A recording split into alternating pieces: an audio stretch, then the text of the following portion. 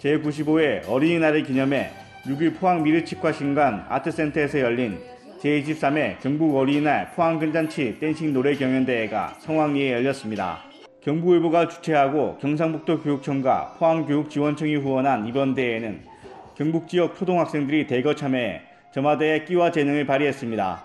이날 대상은 흥겨운 음악과 함께 화려한 춤 동작으로 관중들의 박수갈채를 받은 박윤아 학생의 6명의 헬리아 벨리 댄스팀이 차지했습니다. 대상에게는 경상북도 교육감상과 트로피, 상금 40만 원이 수여됐습니다. 그거 대상을 받을 동안 연습한 게 집치고 힘들었거든요.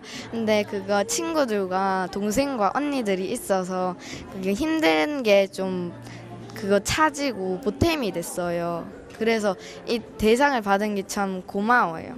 또 동해초 6학년 어린이 10명이 함께 안무를 선보인 성혜진 학생 외 9명과 콩토리 사랑콩을 시원한 음색으로 부른 강가연 학생이 각각 댄스 노래 부분 금상을 차지해 교육장상과 트로피, 상금 30만 원을 받았습니다. 이외 댄스 부분 은상은 정현정 학생 외 6명의 두화팀, 동상은 1에서 4학년 어린이 5명이 함께 퓨전 댄스 벨리를 선보인 구종초 벨리 댄스팀, 인기상은 전희연, 김도윤 팀에게 돌아갔습니다.